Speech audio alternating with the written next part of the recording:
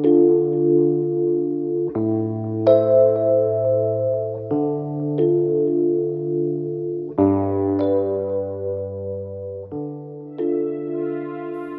the Lord.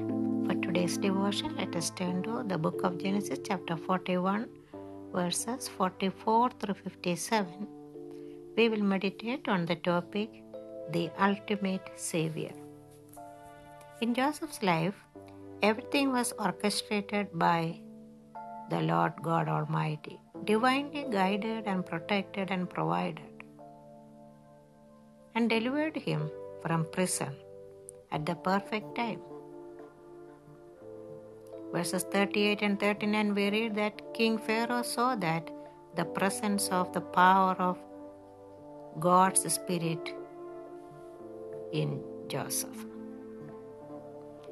It was seen through his practical life, humility, and wisdom. He had a godly character. In Psalm 21, verse 1, we read, The horse is prepared for battle, but victory comes from the Lord. Our deliverance comes from the Lord, not from man. Joseph was promoted to the highest authority next to Pharaoh. Verses 40 and 41, we read this.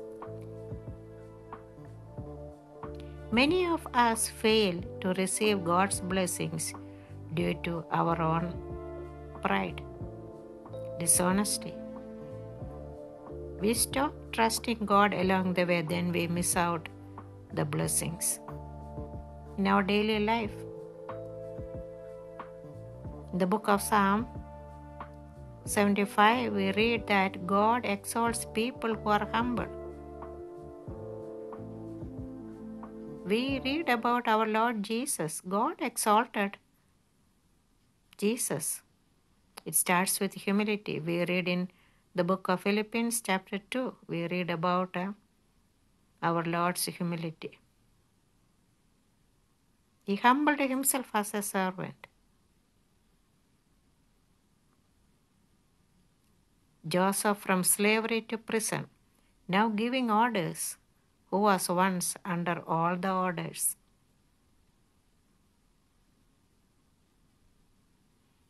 God prepared the pain to prepare him for the promotion and the position that God has planned for him.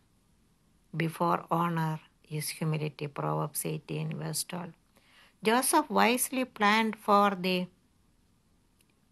imminent famine, seven years of famine. He was the right person on the leadership, doing wise stewardship. He knew exactly what needed to be done and he took right action, appointed people to do the various acts.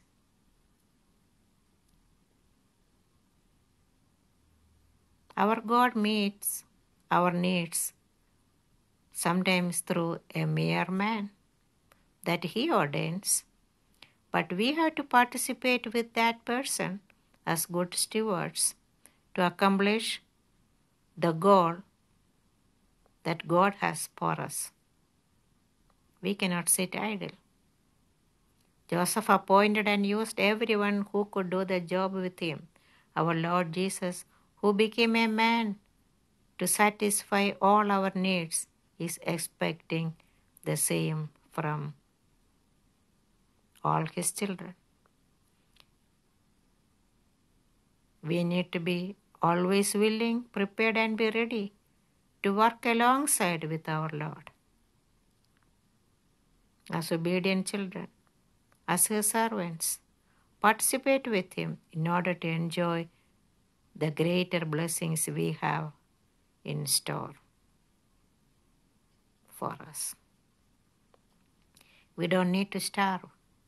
Let's be good stewards of the Lord, willing to spend and be spent in serving Him. Lord Jesus Christ, our ultimate Savior.